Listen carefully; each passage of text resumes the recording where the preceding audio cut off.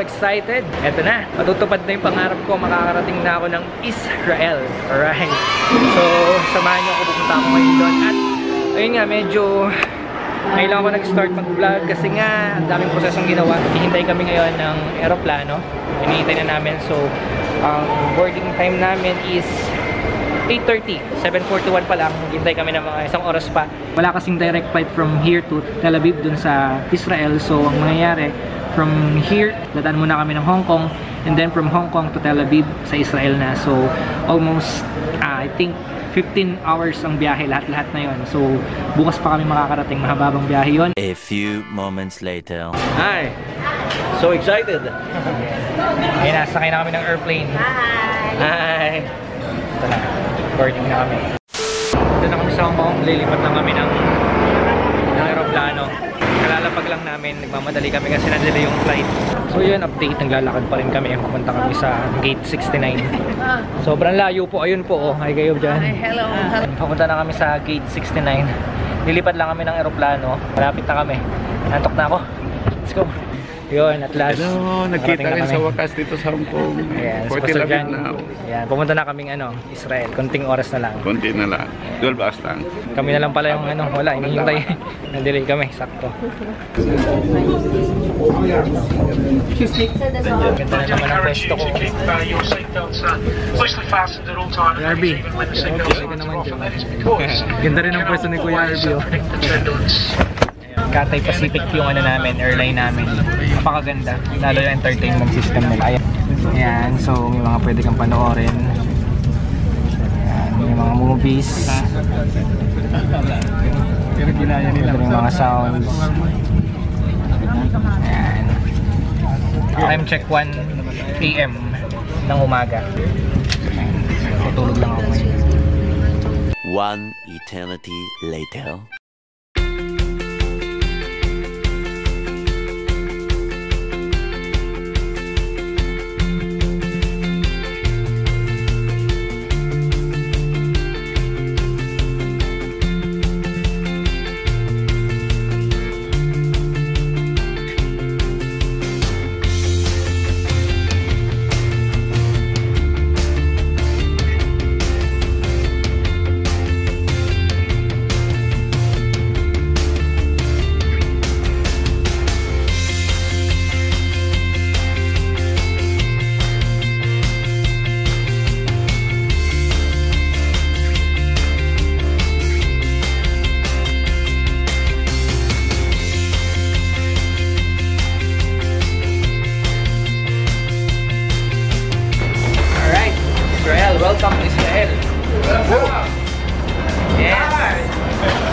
Na to, totoo na.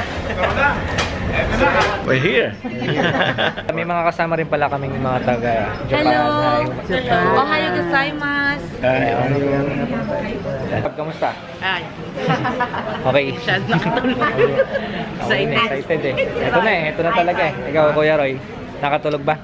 Medyo lang, excited. Excited talaga. Pag nakakapak tayo sa lupa, yun na talaga.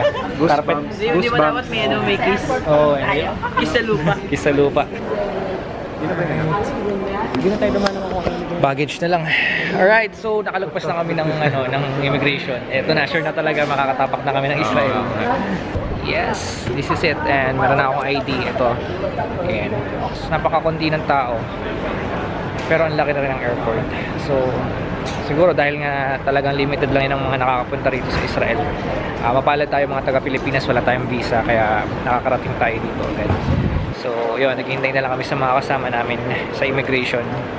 Nandito na kami. Yan yung mga kasama ko. We are so blessed to here today because in the next seven days we will be walking where Jesus walked.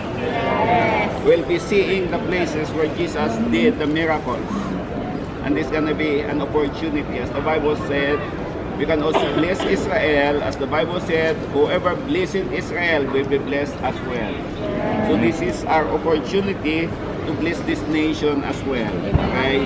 So I am Pastor Gianni Galios, uh, organizing for this trip. Together with me is Rowena, and she's not here today. She's still in the toilet. Um, there's uh, Rowena. Yes! Eto na! This is it. Welcome sa Israel. Nakalabas na rin ng airport sa wakas. At ito, sasakay kami ng bus ngayon.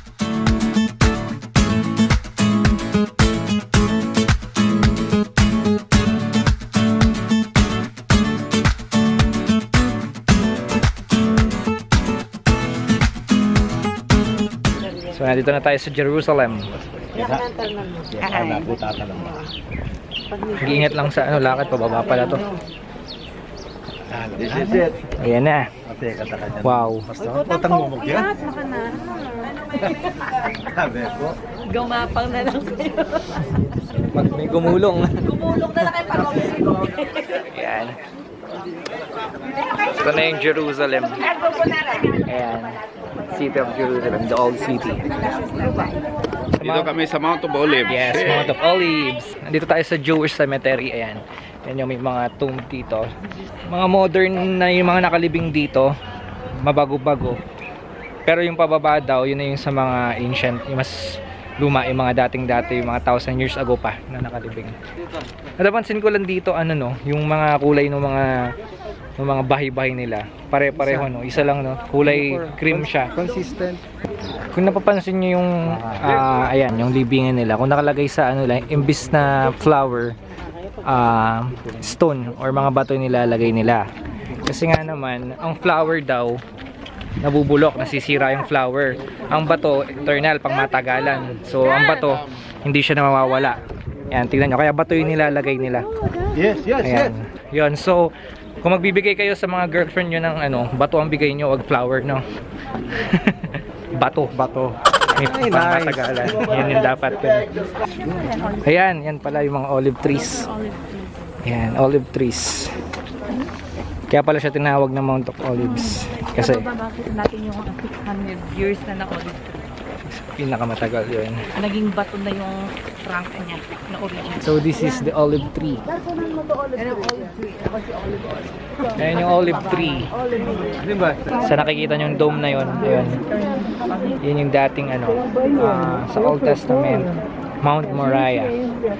Okay, kung alam niyo yun, yung kwento na yun, na saan ah, si ah, Abraham, inoffer niya si Isaac. Okay, sinacrifice na yung anak niya. So, then yun, isang, dyan nagsimula yun. Alright, so next na pupuntahan namin is Gethsemane.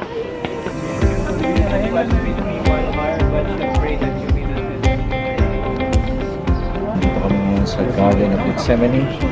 Ito ang is- pinaka-paborito kong lugar sa Holy Land.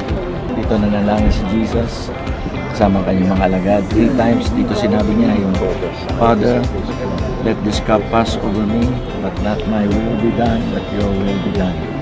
And uh, sa kanyang panalangin ay uh, uh, tumulo ang kanyang uh, pawis na may kasamang dugo at umatak sa lupa. Sabihin nito, we are redeemed, we are now saved by, by uh, His blood. Kaya salamat sa Panginoon sa kanyang ginawa.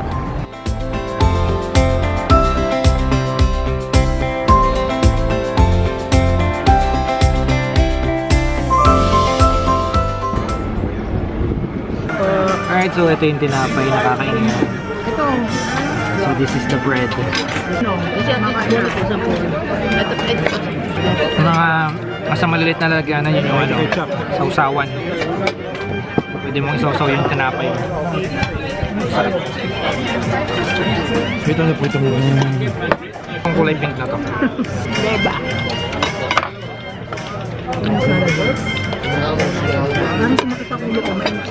Asim.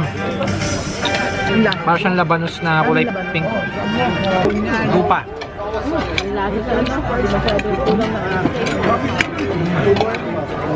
Hindi siya masyado maalat.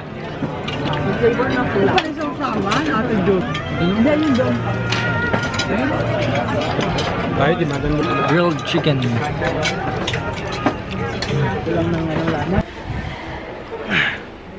Whew, sa wakas, nakarating din sa aming hotel. Hintay lang namin makapag-check-in tapos pasok na kami doon. Tapos pahinga na kailangan ng maraming tulog mo. So, ayun guys. Dito kami sa hotel, Paradise Hotel sa Bethlehem.